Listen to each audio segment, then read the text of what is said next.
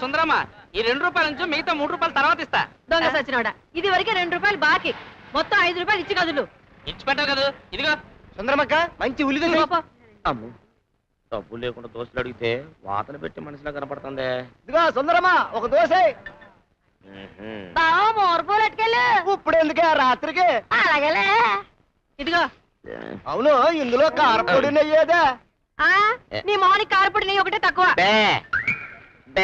బే. బే బే ఏమిటి రాడు గొడవ? ఏమంటున్నాడు? ఆకలితో ఉన్నాడంట. అట్టు పెట్టమంటున్నాడు. బే బే బే.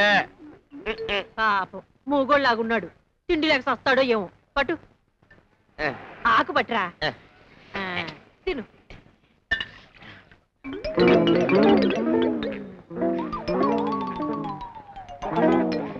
ఒరే మూగడా ఆకలి తీరిందా? పాపం. చెవుడు కూడా ఉన్నట్టుంది. ఒరేయ్ ఒరేయ్. ఇదిగో. ఏమే సుందరమ్మ? ఆడికేమో ఊరికనే పెడుతున్నావు. మాకు అప్పిమ్మంటే అరుస్తావేటే ఆడంటే మూగోడు. ఆడికి పెడితే పుణ్యం వస్తది. నీకు పెడితే నష్టం వస్తది. ఆ తర్వాత నేను ఈ పొయ్యి అట్టుకొని ఏడవాలి.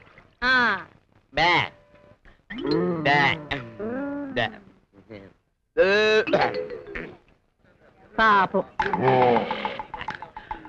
అమ్మయ్యా. ఆకలి బాధ అయితే తీరింది. ఎవడన్నొక్క బీడీ ఇచ్చాడనుకో. రెండు దమ్ములు లాగితుంటది. అన్నా అన్న రమేశ్వరన్న ఏంటి? ఏం లేదన్నా. నేను బస్ దిగ్గానే నా సంచి నా బట్టలు అందులో ఉన్న డబ్బులు అన్నీ ఎవరో కొట్టేశారన్నా. డబ్బులు అడిగితే బాగుండదు కదన్నా. ఒక్క బీడీ ఉంటే అన్న దవడలు లాగేస్తున్నాయి కూడా వెంట సిగరెట్ అడిగితే బాగుండదు కదన్నా. అందుకని బీడి అడుగుతున్నాను అన్న ఇక పో. ఆ అమాయకురాలు నా యాక్టింగ్ నమ్మేసి కొడుకు నిండా దోశలు పెట్టింది. ఈ పిచ్చోడు నా మాటలకు పడిపోయి ఈ బీడి ఇచ్చాడు. ఈ పద్ధతి బాగున్నట్టుందే.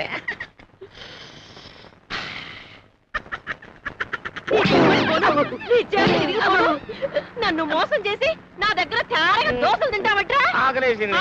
ఆకలేసిందా? నాకు నేను